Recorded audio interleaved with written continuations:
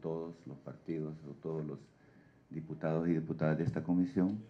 Durante la sesión de la Comisión de Justicia y Derechos Humanos se conoció el acuerdo de junta directiva donde se informa que dicha mesa legislativa será presidida por el diputado del FMLN, Damián Alegría.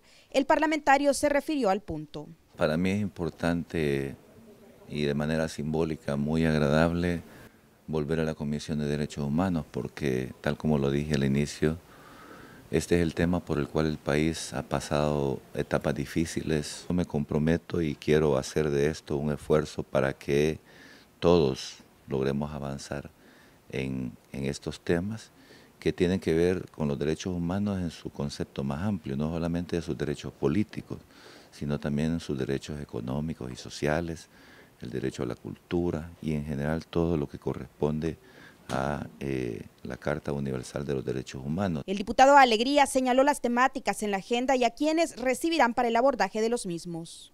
Los primeros invitados tienen que ver con el tema de pueblos indígenas.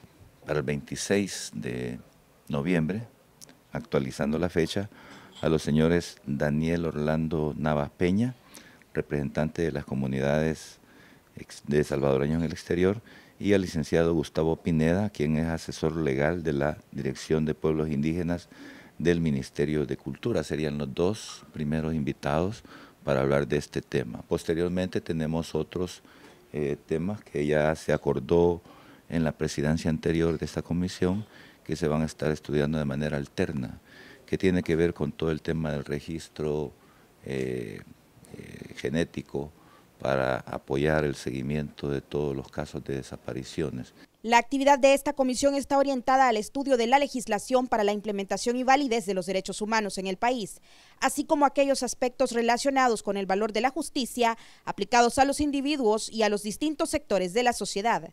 También dictamina sobre las solicitudes de indultos, amnistías y sobre el informe de labores que presenta el procurador o procuradora para la defensa de los derechos humanos. Para el Centro de Noticias Legislativas, Tania Escobar.